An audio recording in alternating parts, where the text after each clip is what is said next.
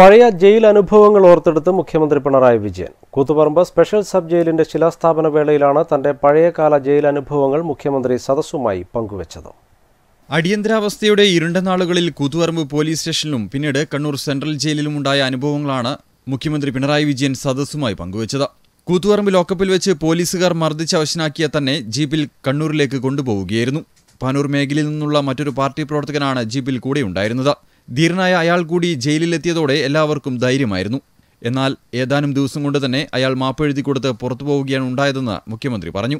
എനിക്ക് ഓർമ്മ വരുന്നത് എന്റെ കൂടെ ഇവിടുന്ന് സെൻട്രൽ ജയിലിലേക്ക് പോകുമ്പോൾ ഇവിടുന്ന് എന്റെ ജീപ്പിലുണ്ടായിരുന്ന ഒരാളുണ്ട്. പാനൂരിൽ നിന്ന് വന്ന ഗോപാലൻ. ഗോപാലൻ വളരെ ധീരനായ ഒരാളായിരുന്നു. ജയിലിലെത്തി ഞാൻ കയറിയ സ്ഥിതി അറിയാലോ. കുറച്ച് അവസരമായിട്ടാണ് ഈ ജീപ്പിലേക്ക് ഞാൻ കയറുന്നത്. സെൻട്രൽ ജയിലിലെത്തിയ ഗോപാലൻ ആകെ അങ്ങ് മാറിപ്പോയി. കുറച്ച് നാൾ കഴിഞ്ഞപ്പോൾ ഗോപാലിന് എഴുതി കൊടുത്ത് സർക്കാരിന് മാപ്പ് എഴുതി കൊടുത്ത് പുറത്തിറങ്ങുന്ന ഒരു രീതിയുണ്ട് രാഷ്ട്രീയ പ്രവർത്തകർ. അങ്ങനെ മാപ്പ് എഴുതി കൊടുത്ത് പുറത്തിറങ്ങി. എന്നാൽ താൻ ഉൾപ്പെടെയുള്ളവർ എല്ലാ പ്രയാസങ്ങളെയും അതിജീവിച്ചാണ് ജയിലിൽ കഴിഞ്ഞത്. ജയിലിൽ ആദ്യമായി എത്തുന്ന സാധാരണക്കാർക്ക് കടുത്ത മാനസിക പിരിമുറുക്കമാണ് ഉണ്ടാവുക. അതിനെയെല്ലാം അതിജീവിച്ചാണ് പൊതുരംഗത്ത് പിടിച്ചിരുന്നതെന്നും മുഖ്യമന്ത്രി ഓർമ്മിപ്പിച്ചു. ജയിലിലാകുമ്പോൾ ഉണ്ടാകാനിടയുള്ള മാനസിക പിരിമുറുക്കമുണ്ട്. അത് ചെറുതായിരിക്കില്ല. നമ്മൾ എന്തിനേയും നേരിടുന്നവർ തന്നെ ജയിലിലെത്തിയാൽ തകർന്നു. രാഷ്ട്രീയ തടവുകാരാകുമ്പോൾ ഇങ്ങനെയെല്ലാം പലതും പ്രതീക്ഷിച്ചാണല്ലോ രാഷ്ട്രീയത്തിൽ നിൽക്കുന്നത്.